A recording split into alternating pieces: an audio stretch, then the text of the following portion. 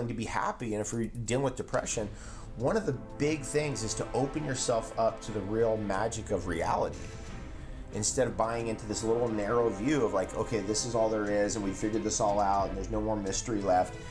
It's all mystery. If you drink that water consistently for six weeks, your body will flush the deuterium out of itself, and you will become younger, and your symptoms will go away, and any problem or whatever your diagnosis is will gradually dissipate.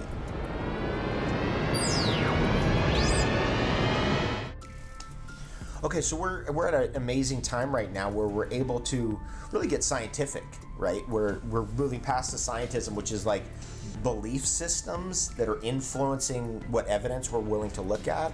We're getting to a point now where we're, we're saying, you know what, throw out the belief systems. Let's just look at this evidence and see what this really means. And what it really means is interesting. It means that we're in a world that is, still has a lot of magic, hmm. and and we know that you know, we kind of know that. And that's one of the reasons why we get into these foods and these superfoods because it activates that. It's one of the reasons why we're into reishi mushroom and chaga mushroom because it activates this part of our reality that's like we know is magical and, and, and chocolate. and chocolate. And, and right? I mean, think about chocolate. We've got this idea of Oompa Loompas and little elves making this food and making chocolate, running a chocolate factory and the whole idea of a chocolate factory. This is very magical thinking, fairy tale heart stuff. opening and, and putting us in. Oh, it has anandamide, the bliss chemical. Uh, theobromine means the food of the gods. So, yeah, pretty magical. right and so, but we're kind of naturally tuned into that already and so that brings you a level of like happiness and i f- see in the world like if you're f- struggling to be happy and if you're dealing with depression one of the big things is to open yourself up to the real magic of reality instead of buying into this little narrow view of like okay this is all there is and we've figured this all out and there's no more mystery left it's all mystery If you can open to it, if you have a horrible disease like you were mentioning Parkinson's, Yeah. you know, you can open to wellness and be able to receive the medicine. That's So- right. Yeah, and so with Mucuna, if you you're wondering like, okay, you know, how, how do I use Mucuna? Mucuna is very good for Parkinson's because it's the best thing ever found against Parkinson's actually, because it's working to anti-stimulate. You know, Parkinson's that overstimulation of our basically of our substantia nigra. You know, it's the central core of our brain. We've got stimulants coming in from every direction: light stimulation, electromagnetic stimulation, food stimulation, advertising stimulation. It just goes on and on. Eventually, your body can get a, a nervous reaction, and that is the Parkinson's syndrome. And one of the best ways to alleviate that is Mucuna standardized to 15% L-DOPA. And that what that does, is it basically neutralizes a disturbance in the what's called the shikimate pathway, hmm. which leads all the way to the development of neuromelanin in our substantia nigra, which is the core of our brain, which controls our motor capabilities. And so it kind of jumps right through into that shikimate pathway and just like sorts out a problem that's there because the problem are in the precursors to the L-DOPA and all of a sudden it goes hey well here's the L-DOPA right here. And the body goes oh good.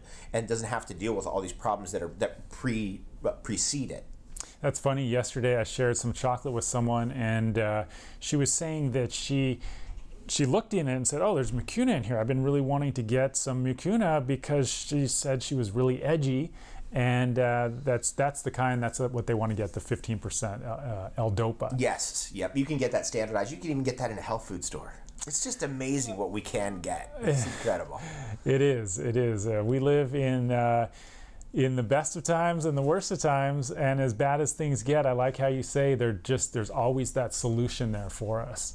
So you, you've had an incredible journey with uh, going literally up and confronting the beast, Monsanto, and living to tell about it. And so I know that everyone would like to hear a little bit about your your kind of epic saga in your battle with Monsanto. I mean, they they took over your your business from the inside out. Yeah, yeah. Basically, I had a business partner who wanted out.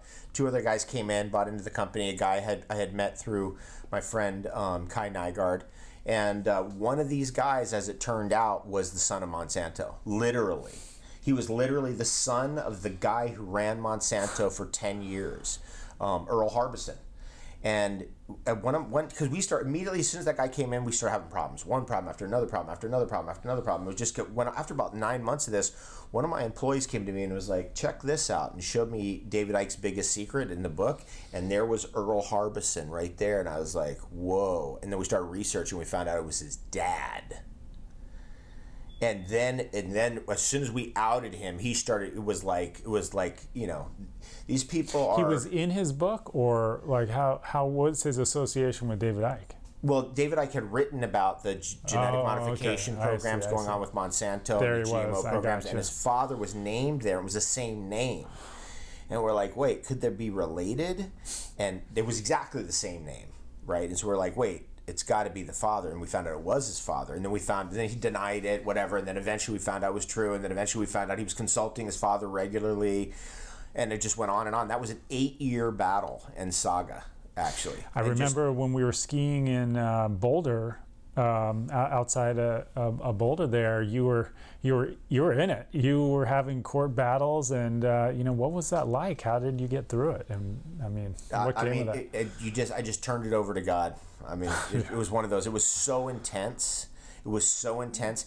You just imagine every dirty trick in the book, every legal dirty trick. If I didn't have the lawyer that I had, I would have been railroaded. I would have been destroyed they came at you with everything. Oh, with everything. And they're the ones. every dirty trick in the book you can imagine. Every single thing you can imagine. An eight-year saga eight years. eight years. So it really it took eight years of my life. They took eight years of li- my life away from me. Actually, you know, just dealing with all this. Just ins- I, I want to just get back to a happy life, but they couldn't stop stealing. They couldn't stop stealing. Even when I separated myself away from the company, I was like, "Just take it, get it, get away from me." They kept using my name on the products. They kept putting, they kept stealing. Right. They could not stop stealing and and I found that with different people in the business world is that they will steal, steal, steal, steal, steal until they until literally they can't get away with it anymore, and they'll just at the last second stop.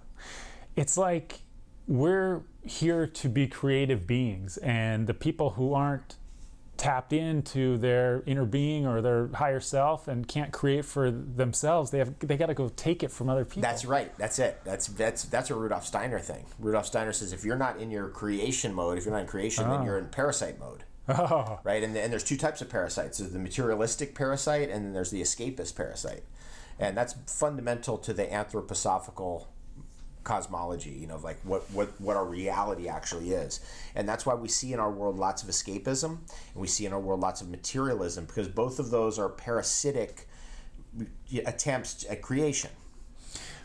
that that says it right there what uh, ai tries to do and that whole movement is is like trying to play god trying to uh, play the human brain. And so this is this is what another Rudolf Steiner thing I think is really cool is Rudolf Steiner says that stuff's not an advancement in nature. That stuff's subnatural. Like these mathematical algorithms, they're mimicking. That's right. They're mimicking what is all. We're, we're already beyond that. Our human consciousness is already beyond that. So we're actually going backwards. What AI re- really represents is a subnatural phenomenon, not a, not an advancement. So when Elon Musk says it appears the world is just a mathematical uh, hologram, is he talking about the mimic of source and creation, you think? Oh, that's interesting. Could be. Yeah. Could be, yeah. I mean, it's interesting that these guys can get away with saying stuff like that. but meanwhile, we've got scientific research by you know people like Andrija Puharich who, and and many many researchers who studied Uri Geller, for example, and many other psychics under controlled scientific conditions. But that data is not allowed in. You, you, somebody like Elon Musk can say, "Oh yeah, we're living in a hologram," all this other stuff. Meanwhile, we've got crazy evidence of all of this psychic phenomenon, telekinesis going on, teleportation of objects, all kinds of interesting things. And guess what? It's not brought into the conversation.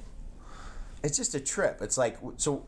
I, I kind of see that that's what that is is is like a you know this that the whole world's a hologram, everything's an illusion. That that's very what as Rudolf Steiner would say escapist or luciferic, mm-hmm. and the everything is the pill for every ill, and everything is physical and materialistic is very what he would call ahrimanic or very materialistic. And so we're we're battling both those demons, for lack of a better term, in our We- we in live our in world. duality. We live in a, and th those two things are are battling for the control of creation. And all you have to do to alleviate escapism or materialism is just get into creating. And this is why, by the way, there's a big surge right now in people doing art, coloring books, Hmm. getting back to the things you did when you were kids. You know, cutting things out, making things with your kids. Because when you're when you're creating you're in that flow mode. All these distractions out there are just distractions that want to keep us from really they don't matter because if we just do what uh, we are inspired to do and we follow that bliss then we're going to be adding to the creation and that unique creation that we as an aspect of source are, are, are here to do. So i know that you are very well adept at entering and staying in that holy flow and so let's uh, let's leave our uh, audience with uh, some some practical tips that you, you, can share from your life experience of how to have the best day ever. Okay, cool. One thing is like just create art. Okay. That's one of the most important. You know, that's what I'm trying to say here. It's Yeah. like get your coloring book out, create art, get a get a journal out, take notes, get back into writing, get back into things that you were doing as a kid that got you into that creative flow. When you eat live foods, when you eat um, like superfood chocolates like this, it helps so much. I mean, it's like if you have any of the other stuff, like you know, you have stuff that's dried out, brittle, you know, is, is cooked to death. It doesn't have any vitality left. And so what what ends up happening is your body has to go, oh my God, we have to you know pull up all this energy to hmm. try to keep going and stay in that creative mode. So to have the best day ever, you just kick off the day with something that's exciting for you and interesting for you and innovative and keeps you in that creative center. For example, let's say you know you had been wanting to write a book. Get up first thing in the morning and just write a paragraph, write a page, write something. Get going, and then that, all of a sudden you go, "Well, I got that page done." Then you get to the next creative project. Let's say you're, you know, you got to get your kids to, um, you know, do something for you, like clean the house or clean the laundry or you know whatever, something like that. Get creative of how you're going to pitch that to them, and you know, start thinking up something clever, or maybe you're going to reward them, or you know, get creative. Nice. And that ultimately drives off all the problems. You know, escapism is a massive problem in Western civilization, right? It's leading to alcoholism, drug addiction, all this other stuff. Materialism is a massive problem in Western civilization. It's leading to, oh, technology is going to save us, our phone's going to save us, you know, the next materialistic possession is going to save us. All of that is gone, wiped out as soon as you're creating. You- and of course, that helps you to not to enhance the positive thoughts and not focus on on the negative. Yeah. So if if your creation is your escape, then that's a good way to escape to take yourself away from spiraling into some story or stirring the soup even more. Mm-hmm. What are some things that you've pra- practical things you've done to get yourself into the zone? As far as I mean, it's not just getting into a, a creative flow. You, do, you, of course, you follow what your interests are, and, And being in the creative flow is like surfing. The wave doesn't last forever. uh huh. You know, you're in the wave, and oh yeah, you're in the creative flow, and then boom, you know, then you got to get in the next one. So you're always just trying to get in to surf that wave. Yeah, yeah. That's really what it's about. So how do you how do you get in the flow? I like to do um, simple things: be being barefoot, walking outside, gardening, deep breathing, yoga, drumming for sure. I'm a drummer. He's always got his sticks. He's always got my drumsticks. My drumsticks are over there. I always have something. You didn't show up with anything but your drumsticks. It's like that's that's my that's my normal you know routine is Yeah. like flipping the drumsticks around playing little beats and stuff and that's the way I get into the flow. Music. Nice, music is a really good way to get in the flow. And then another thing that really gets you in the flow is just connecting with people connecting with you know your team connecting with others and just going you know like getting into that social interaction of your day. You know maybe it's when you show up to work or maybe it's when you start you know communicating with your family or, or, or you know whatever your your normal life is like and what that does is it starts to get you into like you know the real thing that makes life magical which is your interaction with other people. Because i think at some level and i think you probably agree that one of the greatest things about this world is love. Or it's maybe the greatest and and the love that you share with other people and the way you relate to other people and being in that love and celebrating that love is a really wonderful way to get into the holy flow. It's Would you attribute your? Uh, I mean, you are an international, I would say, legend at this point when it comes to the health and wellness movement. Would you attribute a lot of that to what you're talking about?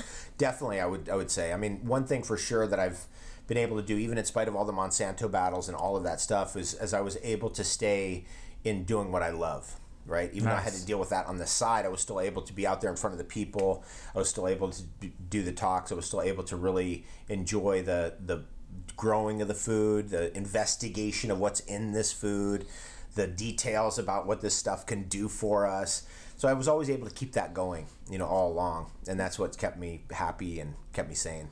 Cool. And you're always researching. I know there's uh, we have a little bit of more time left, and uh, you you told me something in Hawaii that we didn't get to go deeper on. And I'd like to do it right now Okay. and talk about heavy water. Oh, deuterium depleted water. This is some. This is another scientism thing. Scientism is always saying, or materialism always saying, "Oh, science is settled, and this is as far as it's going." But we know in science, it's never settled, right? It, there's always advances, and one thing we can say about science is it changes, and this is one of those things. Hydrogen is very different in its chemistry from deuterium, even though they're both hydrogen. Deuterium is a heavy form of hydrogen, so it has an extra neutron in it. And for many years, uh, the whole dawn of the scientific era and the nuclear era, there was a st- story of like, oh, it's it's the same, it's the same, it's the same. And then one day, the scientist said, well, maybe it's not the same, and he started sprouting tobacco seeds in D2O, deuterium oxide, instead of H2O. Did they not turn out too well? And it didn't turn out too well. In fact, you cannot sprout any seeds in D2O. D2O is to- entirely and totally toxic, totally toxic and he did various different ratios. Okay, maybe if it's fifty percent D2O, and they found that the growth would happen, but it would be stunted. And he started to realize, and eventually it was concluded, and, and eventually that technology and that knowledge was taken by the Russians and then the Hungarians to a very startling conclusion, which is that the accumulation of deuterium in our body is what causes us to break down. We have more deuterium in our body than all magnesium and calcium combined. Combined.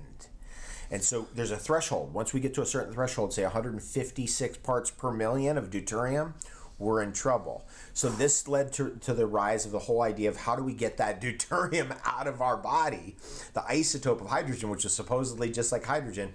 And that was a very, very big story that eventually led the Hungarians to make a breakthrough, which is deuterium depleted water and that's in our environment where people like in, in this Los Angeles area because of certain things that have happened is uh, is, it, is it present, around? it's ever present in the environment. So it's everywhere. yeah it's everywhere. It's all the water any tap water any spring water anything has some amount of deuterium in it. And so what we are always, always trying to do is try to get the stuff that has the lowest amount Okay, so now so deuterium depleted water. deuterium depleted. You want the lowest amount of deuterium. Okay. You want to get it out. You want to get the lowest amount out. And it was found out by the Hungarians that if you could get fractionally distilled water, so you distill the water and that last little heavy bit that's left over, that's that's the heavy water. It distills off last you get rid of that. Then you distill the water again. That last little bit distills off last. You get rid of that again.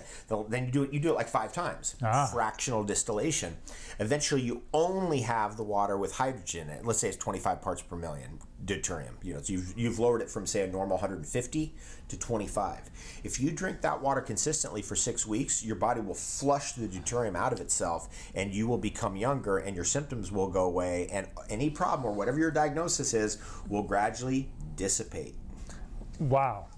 So there is deuterium in all water? Yes. And so by fractionally distillating it down, then it's it's robbing that, it's pulling in that uh, deuterium from your body and, and excavating it. That's out. right, exactly. Because your body goes, wait, we got a chance to get the stuff out. We're not getting bombarded with 150 parts per million. Now it's just 25. We can do this. And your body will flush it. And I'm sure the charcoal helps with that. It right? does. It, charcoal is amazing at neutralizing isotopes. I mean, if you think about any nuclear reactor, the main thing that's used to neutralize the nuclear reaction is carbon.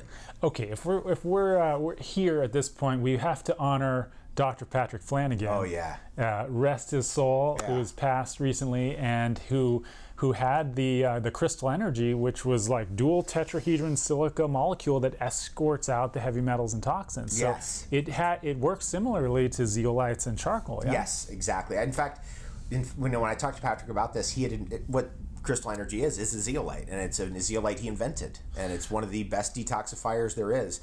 I, I, I love activated charcoals detox, but I also love zeolites, and I also love crystal energy, and I also love clay, and many other, and Do you, love fiber. do you still take uh, uh, crystal mega hydrate? I still take crystal energy and mega hydrate. I had some crystal energy the other day, the last of it, but I got into my water and, and drove I had some. I had some too. So, uh, Dr. Patrick Flanagan, is an Einstein level genius that wrote the first book on pyramid power. He wrote patents for NASA when he was 12 years old. He created the first dolphin human communication translator, and he created the neurophone, which allows you to hear through your skin for deaf people. So this guy created the world's most powerful antioxidant, the mega hydrate, which actually is, goes in, and you know that's why you grew up on an orange juice farm, and fruits and vegetables are naturally high in hydrogen when they're first picked and then they dissipate. And so he microclustered the like a vitamin c molecule would be the size of a football stadium and he made a molecule that if you're in the stadium it would be the size of a dot in your hand. And each of those the vitamin c and the dot each have a negatively charged hydrogen electron that goes around it that escorts out heavy metals and toxins. And so to be able to go to every nook and cranny of the body pull out the, the, the toxins and, and, and do the essence of free radical scavenging and uh, be an antioxidant. It's, it's pretty incredible. So you turned me on to taking uh, some mega hydrate before you fly and after you fly, Yes. and you don't have jet lag. Yes, Me- mega hydrate is hydrogen, not deuterium. And I talked to Patrick many times about the dangers of deuterium. Oh, yeah? He knew. He knew deuterium is one of the worst things there is.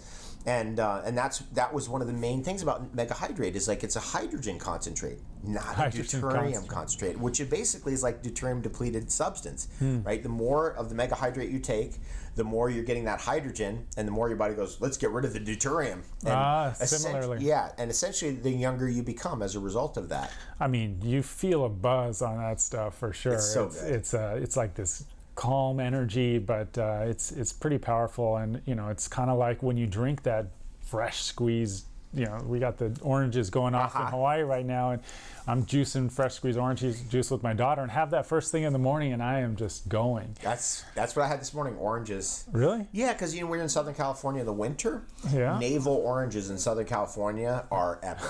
It, They're so we can't sweet. compare to Hawaiian quality. We know No, no, they're all pithy in Hawaii, and it, they're nothing like these guys. Yeah. So That's cool. Yeah, it's cool. Back to your roots. yeah, back to the roots.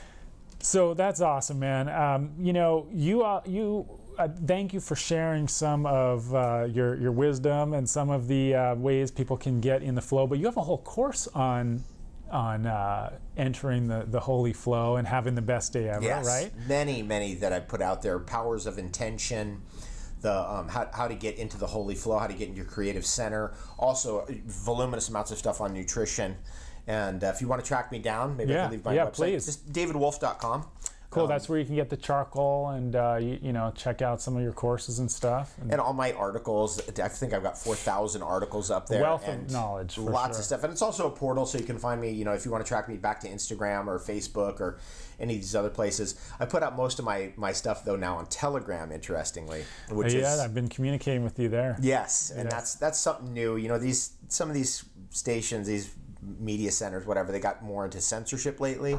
Oh yeah, I actually just got uh, my video that I made on the coronavirus taken off of YouTube.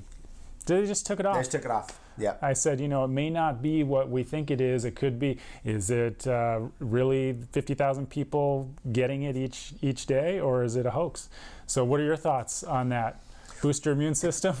boost your immune system. We have 8,000 people who died in 2019 in America from the flu. 8,000 people. So right now we're at 744 people died of the coronavirus. So it doesn't compare to the normal flu yet, right? So we just got to put things in perspective and boost your immune system. Make sure you take your iodine. And if you really want the best super mineral antibiotic, I'd recommend coated silver.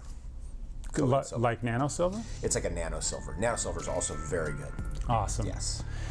Well, if you like this, check out World Awake TV. Uh, that's my YouTube channel where they just yank this. There must be something to it if they're gonna. I never had that happen to me. That's They crazy. Take off. Oh, the- they deleted video. my YouTube channel without any warnings, any strikes, anything. They just erased it. And then also head over to medicinal-foods.com for uh, some of this uh, amazing chocolate. That's pretty. Let's have some of that chocolate. Right, there you great. go. There it is. Boom.